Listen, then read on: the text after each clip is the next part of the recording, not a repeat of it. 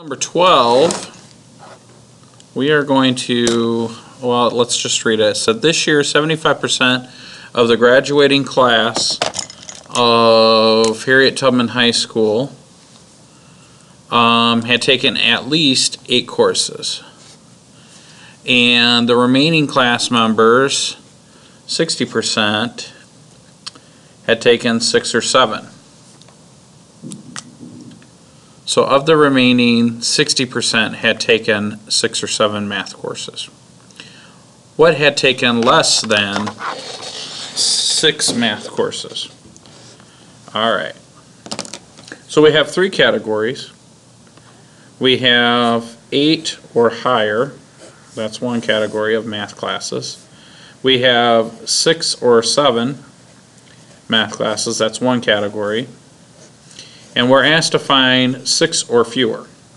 Well, this one's clear. 75% of the graduating class had taken eight, at least eight. Okay? Now, 60% of the remaining. So, what this is, is 60% of the remaining 25%. Right? Because the remaining percent is 25, right? If this is 75, then this is uh, um, 75%. So now how do I find that?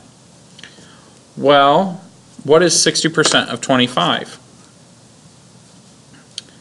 Well, we could just, uh, 60% is the same as 0.6, so if I say 25% times 0.6, 6 times 5 is 30, raise the 3, 6 times 2 is 12.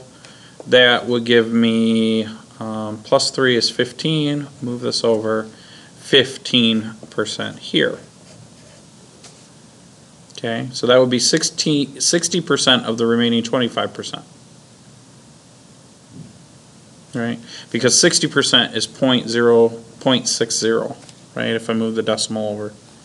And so mathematically, what I did is I just kind of calculated that that would be 15.0% and plug that in. Well, the remaining is, you know, all this has to add up to 100%. So 15 plus 75% is actually 90%. So that would leave me with 10%. So I've got 10 and 15, that equals 25, plus the 75%. That's it.